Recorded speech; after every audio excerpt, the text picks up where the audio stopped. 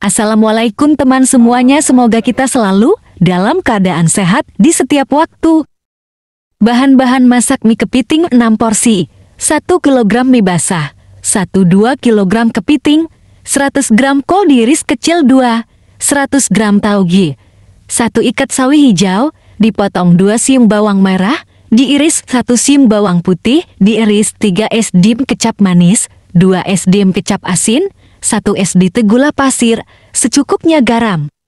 Satu jeruk nipis, 4 SD minyak goreng untuk menumis, 1 buah timun. Bumbu halus, 10 siung bawang merah, 3 siung bawang putih, 10 cabai merah, 6 cabai merah kering, 4 butir kemiri, 1 ruas jah, 1 ruas kunyit, 1 per 2 SDT ketumbar, 1 per 4 SDT jintan, 2 butir kapulaga, 1 buah tomat. Cara membuat satu bersihkan kepiting, lalu beri sedikit perasan jeruk nipis dan garam diamkan sebentar dua cuci mie basah agar bersih. 3. Panaskan wajan tuang minyak, setelah panas masukkan bawang merah yang telah diiris tumis sampai harum, lalu masukkan bumbu yang telah dihaluskan aduk sampai matang. 4.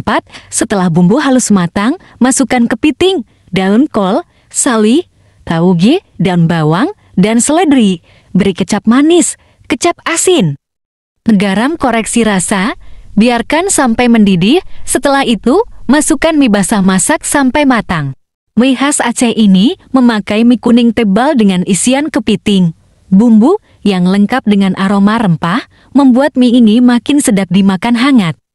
Aceh dikenal akan hidangan kari kambing dan gulai itik yang sedap. Tetapi Aceh juga punya olahan mie yang berbumbu lengkap dengan aroma rempah yang tajam. Uniknya mie ini memakai isian kepiting segar berdaging tebal, dikenal dengan nama mie kepiting Aceh. Keasikan makan mie makin terasa nikmat dengan keseruan makan daging kepitingnya. Rasanya. Jangan ditanya lagi, semua orang kepincut pedas gurihnya. Sudah ngiler dengan mie Aceh? Racik sendiri dengan panduan resep yang diberi nama mie Aceh Maju. Tups, untuk menghindari keracunan, beli kepiting dalam keadaan hidup. Saat akan dimasak, matikan kepiting, kusi bersih kemudian olah sesuai resep.